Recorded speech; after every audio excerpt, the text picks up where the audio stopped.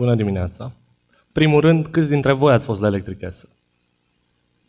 Ok, facem altfel. Cine nu știe absolut nimic despre Electric Castle? Deci pot să plec atunci. Okay. Uh, probabil, după cum știți, Electric Castle a devenit la doar a doua ediție cel mai mare și mai de succes festival de muzică din România, cu audiențe impresionante și feedback-uri extraordinare. S-a scris foarte mult despre festival, iar cele mai multe întrebări pe care le primesc sunt de ce a avut Electric Castle succes?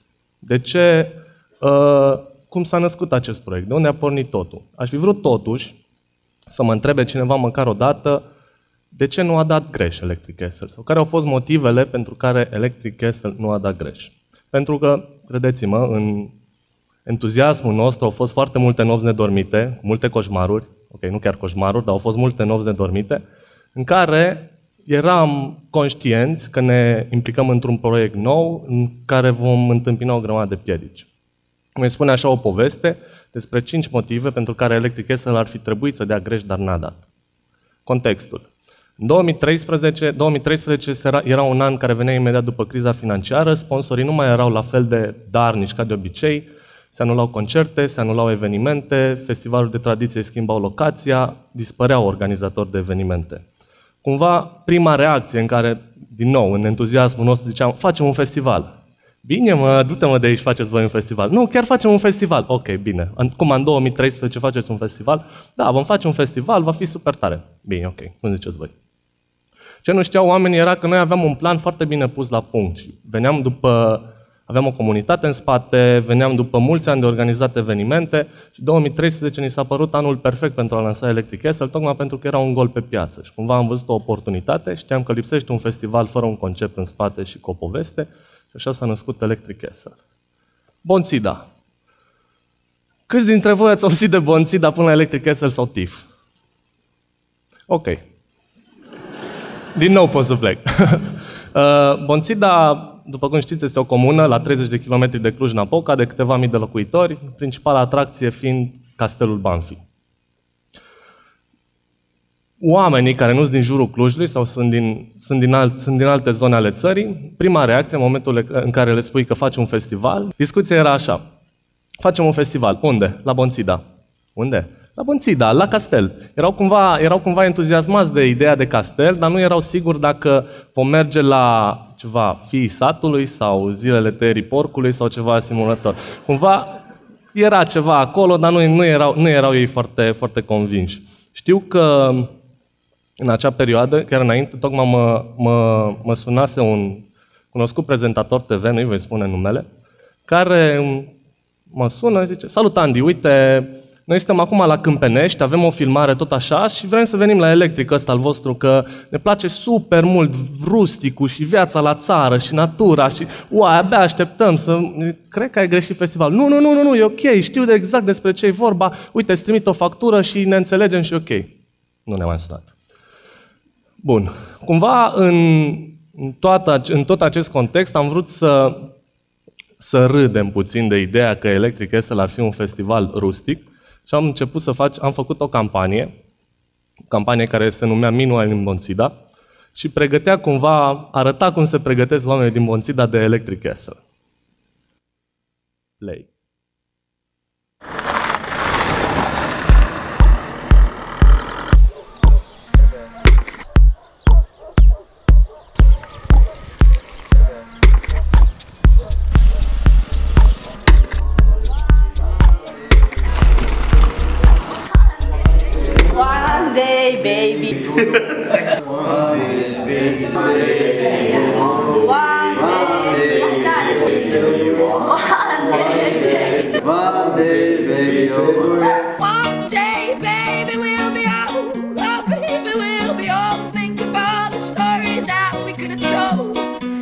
Walter la Lalica Kelsa. Walter Mut Electric Kelsen. Walter Mut va Electric Kelsen.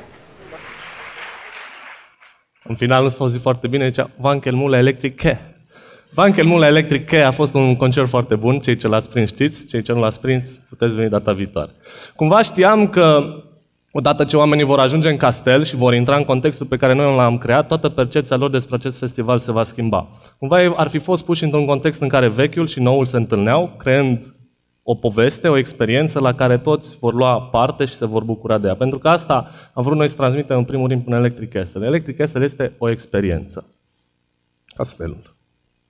Hipsterii. Întotdeauna e vina hipsterilor pentru ceva.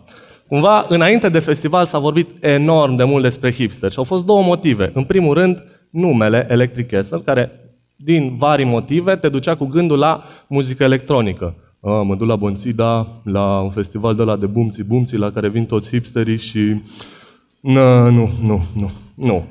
Electricul nu vine de la muzică electronică, Electric este un festival de muzică, punct. Un festival cu line variat, cu o grămadă de artiști, cu muzică pentru toate vârstele.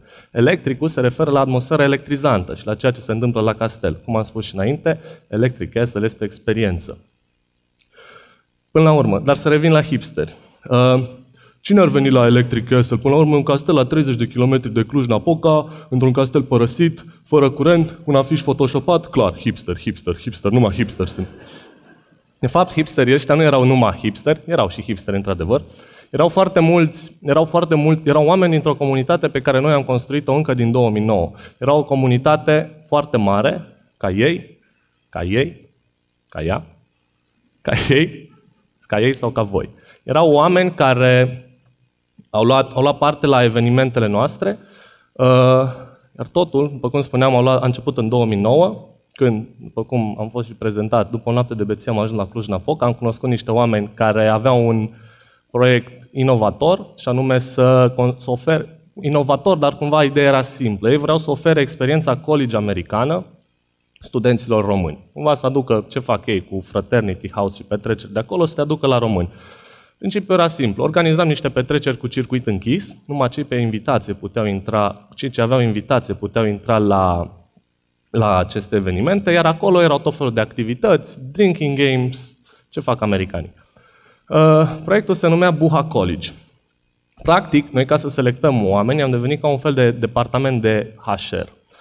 Oamenii se înscriau pe site și completau acolo. Vreau să vin la Buha Party pentru că. Vreau să așa. Și cumva noi evaluam ceea ce scriau ei acolo și în felul nostru de atunci ziceam, da, ăsta e ok, ăsta nu e ok. Și s-a creat, din toată această poveste, s-a creat un nucleu de oameni care la rândul lor au s-a extins și au adus alți prieteni și alți prieteni și alți prieteni. Cumva a fost ca un bulgăre de zăpadă care a tot crescut și a tot crescut până a ajuns la ceea ce este astăzi. În prezent, Buha College este cea mai mare comunitate non-academică de studenți din România. Următorul pas a fost parteneriatul cu Boiler Events, care a oferit cumva o calitate și mai mare evenimentelor noastre. Aceste lucruri, Buha College, Boiler Events s-au unit și evenimentele au crescut până când pasul logic și următor a fost să facem Electric Castle. Echipa. Din afară părem un grup de visători care s-au trezit peste noapte să facem un festival. Iarăși, discuție clasică. Facem un festival. Voi? Da, facem un festival. Ok, dar voi n-ați făcut niciodată un festival. Dar vom face un festival pentru că știm și... Bine, ok, ok, bine, cum ziceți voi? Ce nu știau oamenii era că noi lucram de aproape șapte ani împreună, șapte ani în care am organizat evenimente, am învățat să facem evenimente și cel mai important am învățat să lucrăm împreună. Am învățat să comunicăm, am învățat să ne oferim feedback și cel mai important lucru dintre toate este că am devenit prieteni. Niște prieteni, dacă vreți, este, ne place să ne zicem că suntem ca un mecanism mare de ceas, în care fiecare rotiță micuță are un rol esențial. Dacă o rotiță pică, pică tot mecanismul. Și cum spuneam, suntem prieteni, stăm mult împreună, poate prea mult, uneori, știți cum se zice, mai răruț, dar mai drăguț. Echipa. Termenul lung și planurile pe termen lung.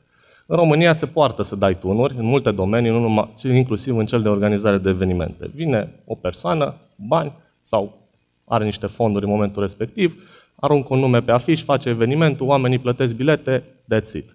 Nu îl interesează de experiența omului de la fața locului, nu îl interesează de ceea ce urmează să se întâmple.